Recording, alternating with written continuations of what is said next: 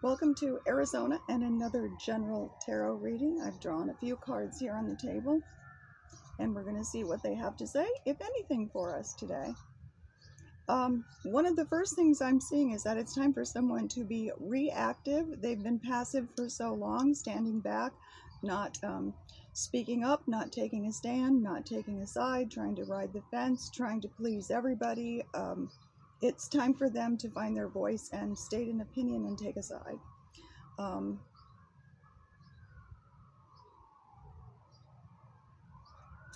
with that, there's an individual with whom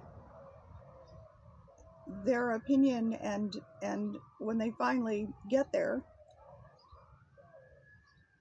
with that said, there's an individual who will be helped by their opinion. Uh, they're just afraid to give it. I don't know whether they're afraid uh, to hurt someone's feelings or they want to be a people pleaser, but there's someone who will really benefit by their by their opinion and um, the stance that they take on an issue when they take that stance. um, it will lead to uh, big changes. It will lead to movement. It will lead to uh, decisions and progression um, in a situation or uh, a situation for someone.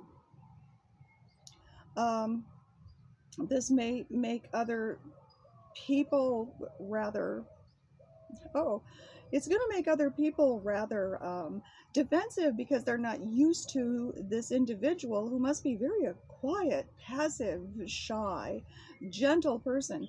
It's going to stand up and take a stand, and they're going to they're going to blow some air. So it's going to uh, it's going to take people aback uh, that's around them. People who are used to used to their personality being one way.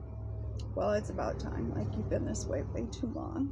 So with that said, that is the message from these cards today. That is all they're giving me right now. And with that said, for now, we'll say bye bye. Till next time.